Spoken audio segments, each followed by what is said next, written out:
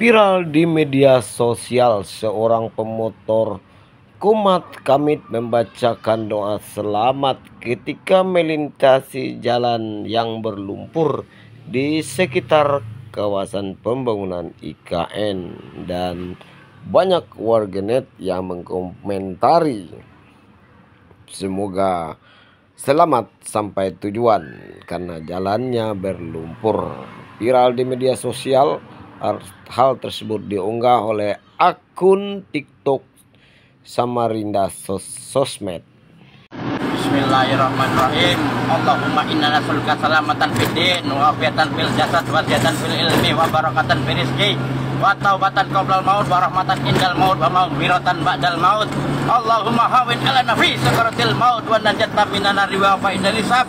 Rabbana la tuzigh qulubana ba'da idh hadaytana wa hab lana min ladunka rahmatan innaka antal wahhab. Rabbana atina fid dunya hasanah wa fil akhirati hasanah wa qina azabannar.